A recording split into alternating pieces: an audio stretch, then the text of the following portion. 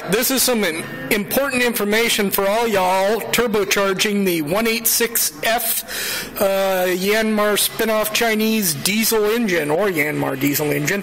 I got here the RHB31 um, little micro turbo. On your intake, you'll want to have a nice tangential uh, vacuum port for your PCV.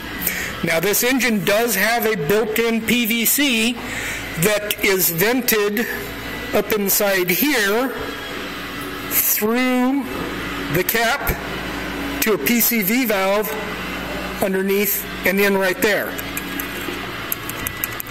Can barely hear it rattling, but um, yeah, that's your built-in PCV valve, and uh, what you need to do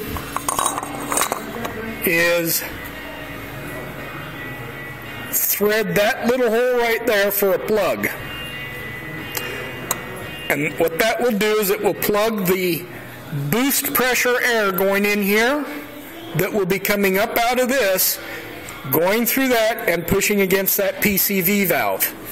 Um, what you do, you plug that with a nice little plug, and then you can either drill and tap right here or drill and tap right here to put in a brass hose barb or whatever to the uh, uh, vacuum port in front of the turbo.